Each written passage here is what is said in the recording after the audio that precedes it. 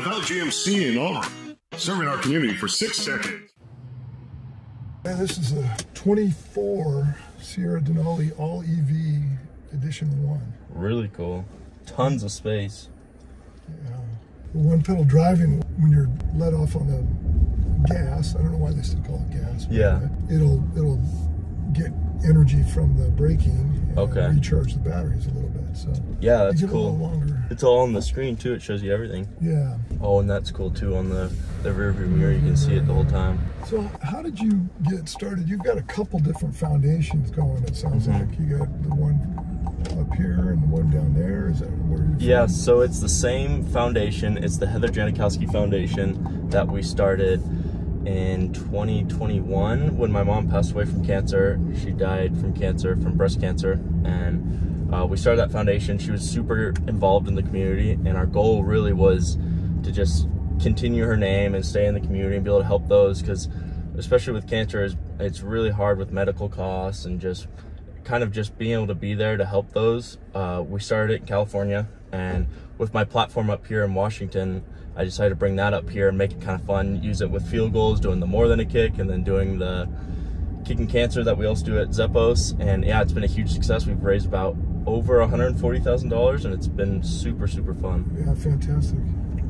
Well, as I mentioned, I lost both my parents to cancer. hmm So that's been something that we've done at the dealership. In uh, the month of, of October is typically we do a, a test drive for, you come test drive a car and then we will Uh-huh. donate $10 towards um, Cancer Foundation. And so hopefully we can generate a lot of test drives at the same Mhm. time uh, some, some money for, for cancer. Yeah, that's amazing. Especially just being able to give back to those people. We've been able to do a bunch of things, I'm sure, just like your foundation, being able to pay for people's expenses or stay in hotels when they have to go to Seattle and get their Yeah. treatments.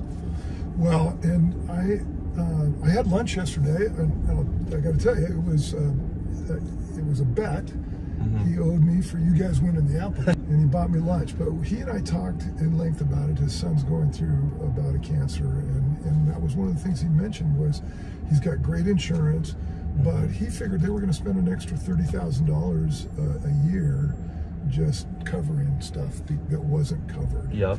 And um, Driving, taking your car, Yeah. gas, everything. yeah. And and he also said how blessed he was because we live close to Seattle. hmm And if he didn't, you know, Seattle's one of the top mar- um, um, cancer research areas. And Mhm. if you didn't, and you had to go every two weeks across the state or Oh, yeah. another state, and so uh, it's, you mentioned that that's one of the areas that you're contributing. to. Yeah, it adds up quick. Someone in Pullman, we were able to donate to them, and they had to go, same thing, like you said, go all the way to Seattle, and they ended up having to stay there for a few months just so they could save some money on that. So helping to be able to pay for their costs like that and hotel and be of support. Fantastic, you're doing that. And I'm, um, I'm also uh, was proud to see you being honored as one of the 11 finalists there for the The Allstate Good Hands Allstate Good Hands. That's been super cool. It's been it's been amazing. There's I believe there's around 180 guys and to be selected as the 11 is really really cool. It's been it means a ton and so to be able to have that support too as well and kind of keep bringing awareness is huge. So yeah, it's pretty quiet, isn't it? yeah, yeah, this thing and it drives so smooth those big 24 inch rims like you're saying Yeah. and it's it's so quiet and it's it's just super smooth. I that that back trunk was super cool how you showed me how you could fold that thing Fold it down, fit all your stuff in there. I love this big screen, everything. Yeah. And the, the heads-up display. I think that's a safety feature for me. I don't I don't have to take my eyes off the road. Yeah, and be able to have the uh, speed limit on there too, everything. Speed limit is, is perfect for Highway 26. Oh yeah, for sure. when they try to get you there. Right. No, it's it's amazing. I love the rear view mirror, the camera, the everything on it is just so sleek and so I it's awesome. So cool. I love the huge sunroof too. Really cool. And how many what's the range on this? You know, it uh, it said when we left yesterday, it said 440. Okay. Of course, it, it depends on how you drive and all the stuff that Yeah. you do. And could it go up if you're going downhill? Does it recharge on the downhill? It will recharge and it'll recharge even more if you do the one pedal driving, which I, I do use. It does make it a little jerkier. Uh-huh. And what is the one pedal drive? You, You don't Oh. have to use your brake as much because you lift up on it and it'll Okay. slow right down. Oh yeah, so you give it gas, and then if I let go, it stops us just yeah, now. Yeah, and then you'll see the up here. It's like giving you the kilowatts that you're using in red, Okay. and then it turns to green and the kilowatts that you're charging. And is this an all-wheel drive vehicle? Yeah, it's got it's got and it's also got quadra steer, which is fabulous for a big vehicle to turn in a parking, Mhm. you know, turn into a parking lot. Yeah. And then also the wheels go opposite in the parking lot. On the other hand, if you're um, if you're towing something, they go the same way. So Okay. so you can't fishtail. And then it's got crab walk. And I admittedly, I've only used it once, and that was at the airport when I picked somebody up. And you know how you get Oh yeah, and to work your way in. And I, I was able to just turn those wheels and just Wow. run around somewhere.